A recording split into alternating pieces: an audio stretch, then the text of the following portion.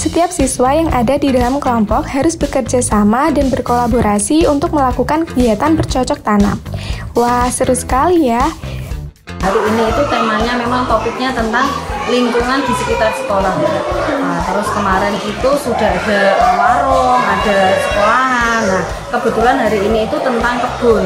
Jadi anak-anak itu mengetahui bagaimana kalau di kebun itu dan kebun itu bisa dimanfaatkan untuk apa saja. Nah, ternyata kegiatan belajar berkebun ini merupakan pembelajaran berbasis inquiry loh, yaitu bermain sambil belajar. Melalui pembelajaran berbasis inquiry, adik-adik TK Nurusofa diberikan kebebasan untuk mengeksplor apa pun saat berkebun ini.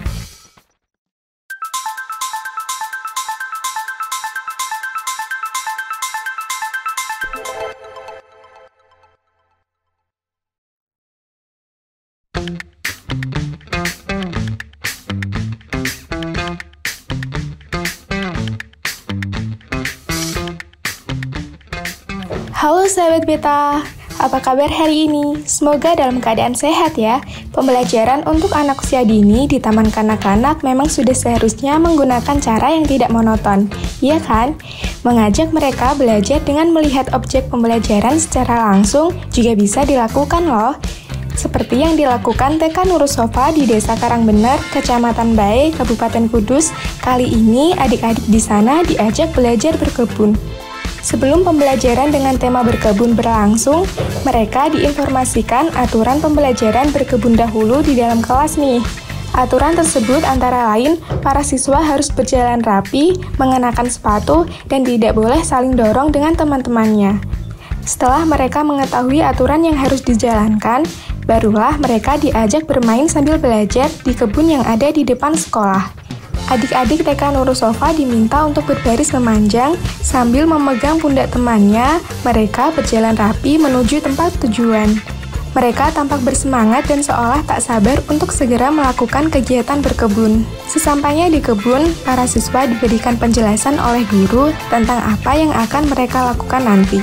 Dengan saksama, mereka mendengarkan penjelasan guru. Tak jarang mereka juga turut aktif berkomunikasi ketika guru memberi waktu untuk bertanya. Selanjutnya, guru mempersilahkan siswa-siswi untuk menanam pohon pisang yang sudah disiapkan. Para siswa dibagi ke dalam dua kelompok, yakni kelompok laki-laki dan kelompok perempuan. Setiap siswa yang ada di dalam kelompok harus bekerja sama dan berkolaborasi untuk melakukan kegiatan bercocok tanam. Wah, seru sekali ya! Hari ini itu temanya memang topiknya tentang lingkungan di sekitar sekolah. Nah, terus kemarin itu sudah ada warung, ada sekolahan. Nah, kebetulan hari ini itu tentang kebun. Jadi anak-anak itu mengetahui bagaimana kalau di kebun itu dan kebun itu bisa dimanfaatkan untuk apa saja seperti itu. Tadi permainannya ada anak-anak praktek menanam untuk uh, pemanfaatan kebun itu itu dimanfaatkan untuk apa? Makanya dimanfaatkan untuk menanam. Nah, ternyata kegiatan belajar berkebun ini merupakan pembelajaran berbasis inquiry loh, yaitu bermain sambil belajar. Melalui pembelajaran berbasis inquiry, adik-adik TK Nurusofa diberikan kebebasan untuk mengeksplor apa pun saat berkebun ini. Belajar berkebun kali ini memberikan banyak nilai edukasi bagi adik-adik loh sahabat. Selain menerima informasi dan literasi tentang apa saja manfaat dari berkebun, adik-adik TK Nurusofa juga diajak untuk berpikir kritis dan percaya diri. Alhamdulillah bahwa dengan adanya kurikulum merdeka itu memang sangat membantu ya dari ajari pembelajaran ajari itu karena memang model pembelajaran yang ada di kurikulum merdeka itu juga berbasis inquiry anak-anak diajarkan untuk bernalar kritis Nah, melalui menanam pisang ini, mereka juga diajak untuk berpikir secara komputasi atau computational thinking. Dengan computational thinking, adik-adik mengetahui media apa saja yang cocok untuk menanam pisang. Media tersebut antara lain sekop, ember, pohon, air, dan lain sebagainya. Selain itu, mereka juga mengetahui tahapan-tahapan untuk menanam pisang. Ini juga disebut sebagai proses dekomposisi. Apa itu dekomposisi? Dekomposisi merupakan salah satu rangkaian dari computational thinking dalam memecahkan masalah.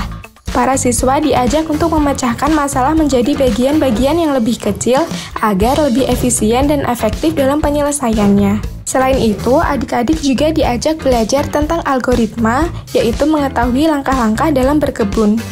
Dari rangkaian kegiatan tersebut, mereka diajarkan untuk mengembangkan keterampilan berpikir kritis. Nah, kegiatan berkelompok dalam berkebun mengajarkan kepada adik-adik tentang kerjasama dan kolaborasi nih, sahabat. Wah, banyak sekali ya nilai edukasi yang didapat oleh mereka. Setelah kegiatan berkebun, adik-adik TK Nurusofa juga diajak menggambar tentang pelajaran yang mereka dapat saat berkebun. Setelah itu, mereka juga dibiarkan berkreasi membuat karya dari pohon pisang yang sudah disiapkan. Ada yang buat pistol, perahu, hingga pedang loh sahabat. Keren ya?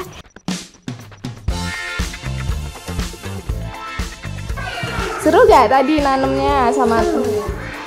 Terus tadi selain nanam pohon pisang, ngapain aja sih? Membuat pedang dari bambu. Oh, buat pedang dari bambu. Wah, ternyata kegiatan membuat karya dari pohon pisang, adik-adik belajar tentang diferensiasi. Diferensiasi merupakan kegiatan belajar yang dilakukan peserta didik sesuai dengan kebutuhan minat belajar mereka. Sekian dulu ya liputan kami kali ini. Jangan lupa untuk ikuti terus liputan kami berikutnya. Sampai jumpa.